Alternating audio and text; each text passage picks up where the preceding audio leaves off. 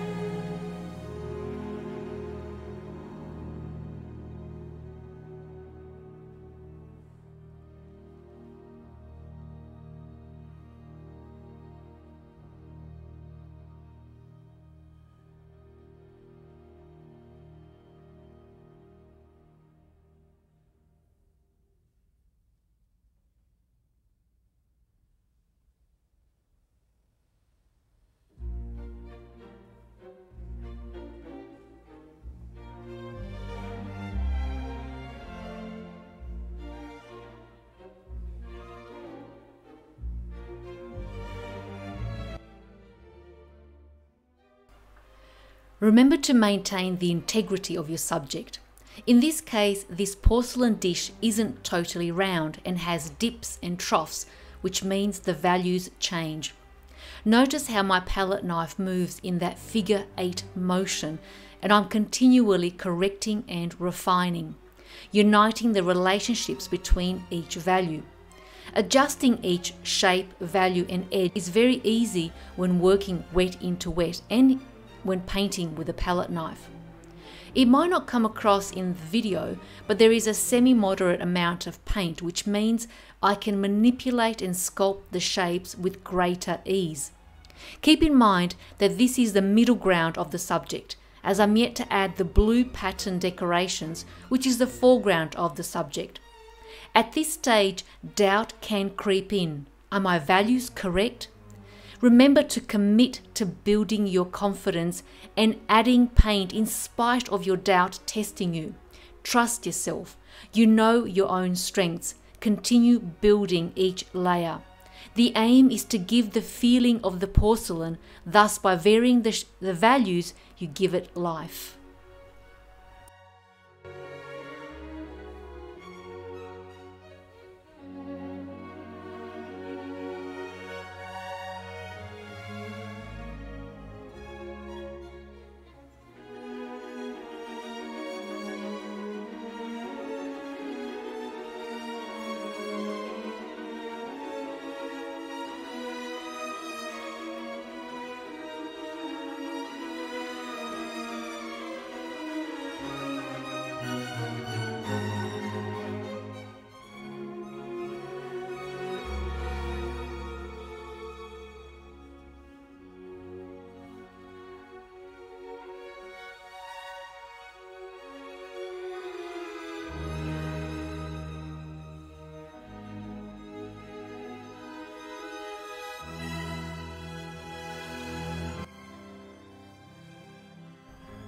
Here I'm slowly beginning to build the highlights and making sure not to destroy the essence of the light.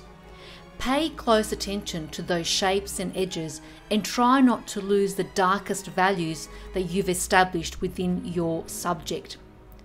I'm adding small units of colour within each shape so that I don't lose those values that I have already placed prior.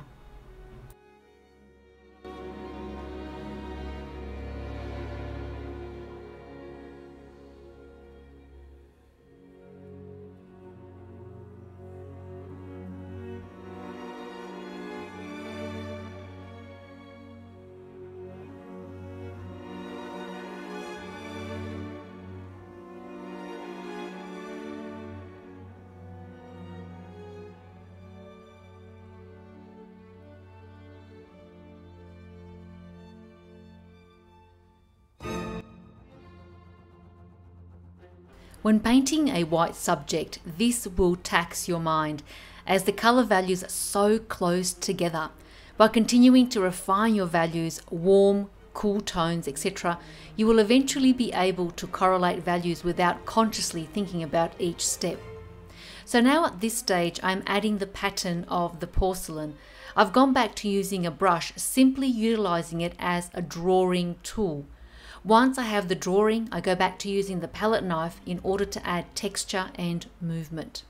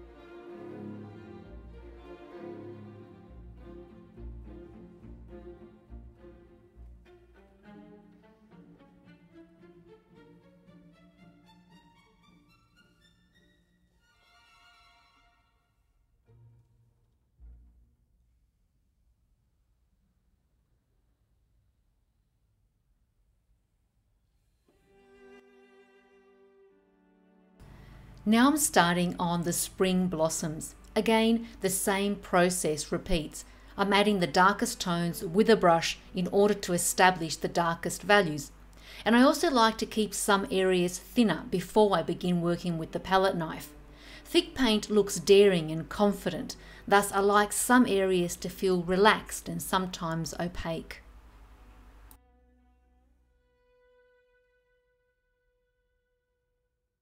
When you paint flowers, directing your mood to see only shapes will help you greatly during the painting process.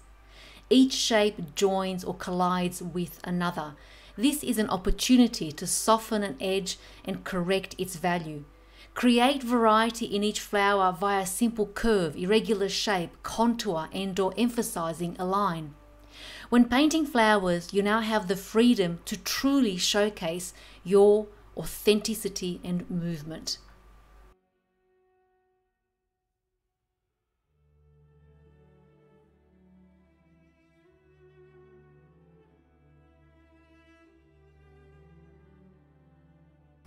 Notice that I'm correcting this shape by re-establishing my darks. Again, this is the benefit of working wet into wet. You can correct mistakes and continue to establish the color relationships and harmony of each movement that you make.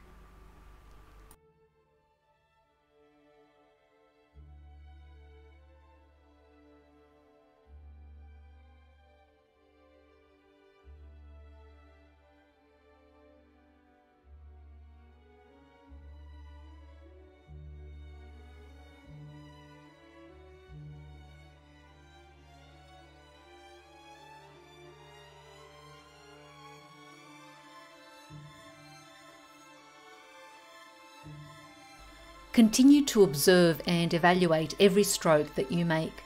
Sometimes the right colour isn't the exact colour necessary for your subject, and while I lock into a colour coordinate, I mostly paint what I feel. From here on, I'll speed up the rest of the painting so that you can see the final product. I trust that this has given you a small insight into the palette knife. Find your balance between the brush and the palette knife. Don't let the disappointment bring you down. Trust yourself. Have courage in your own technique, your own personal signature, and keep igniting your own creative genius.